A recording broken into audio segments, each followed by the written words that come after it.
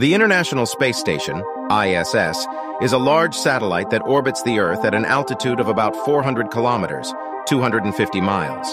It is a joint project of several countries, including the United States, Russia, Japan, Canada, and European Space Agency, ESA, and serves as a research laboratory and living space for astronauts from around the world.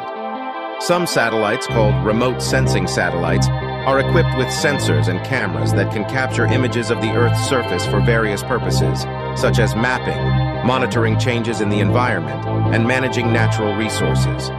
These images are used in fields such as agriculture, urban planning, disaster response, and environmental conservation. Satellites can be used for space exploration. For example, Orbiters and rovers sent to other planets, such as Mars, are considered satellites as they orbit or land on these celestial bodies and transmit